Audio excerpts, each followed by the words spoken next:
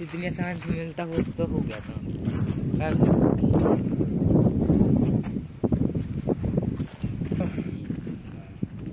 इतनी अच्छी जगह है। चलो डैम देख।